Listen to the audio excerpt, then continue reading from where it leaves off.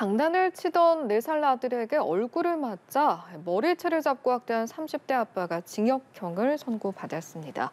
인천지법은 아동학대 혐의로 기소된 친부 A씨에게 징역 6개월에 집행유예 2년을 선고했습니다. A씨는 지난 2월 인천 부평구 자택에서 4살 아들이 얼굴을 때리는 장난을 치는 것에 화가 나 머리채를 잡고 얼굴과 머리를 손으로 때려 학대한 혐의로 기소됐습니다.